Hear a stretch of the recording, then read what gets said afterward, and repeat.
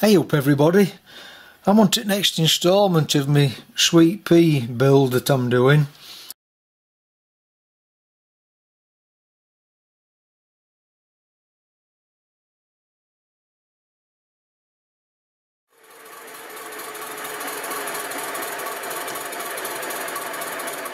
Perhaps if you've not seen the first part of these in my last video you might have to take a look back I'm up to the point where I'm ready for drilling these brasses. That's what they call them in book anyway. Um, for this connecting rod on this side. Once I've got them drilled I can fasten them together uh, machine this hole in for the crank where it fits on the crank pin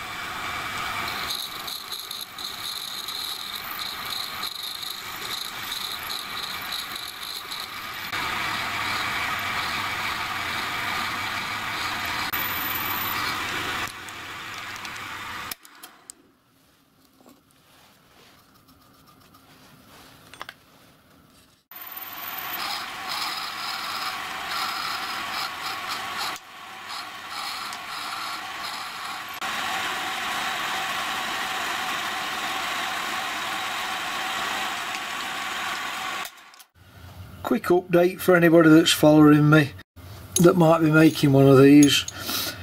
The way I'm doing it is not set in stone. It's up to you how, how you do it. This is just my method. Uh, there's many methods that this could be done. But anyway I've uh, I've got these bars cut to length and it doesn't call for a thread on thread on them on the drawing. It just says uh, stick them into the relevant parts and then silver solder them but I'm going to belt and brace mine. I've put a I've put a quarter inch by 26 thread on. So like I said before one of them ends is going to go into that when I've drilled it and then the other end will go into this that steel piece then silver soldered in. Um, so now I've got these drilled I've put some smaller screws in and clamped them all up ready for machining that hole. These are the proper screws. So when I've got this machined I've got to tap this end 4BA where the screw is going to thread in and I've got to open these three parts up not this one these three for clearance on 4BA and then that'll act as the nut when I screw it screw them together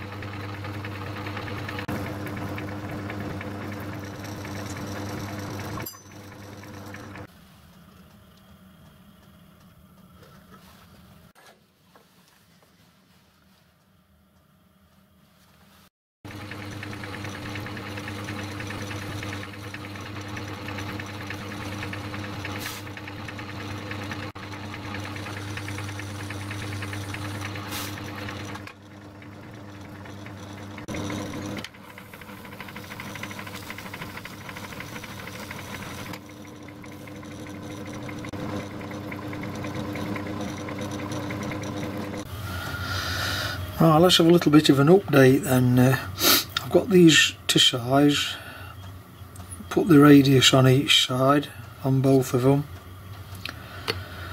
So what I've got to do now, I've got to I've got to dismantle them, drill and tap this hole for this to fit in.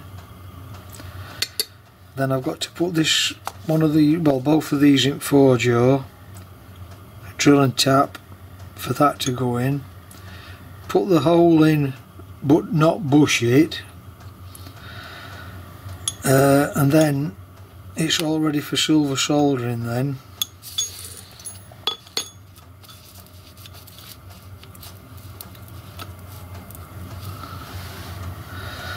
Once I've got that silver soldered in I can uh, drill and tap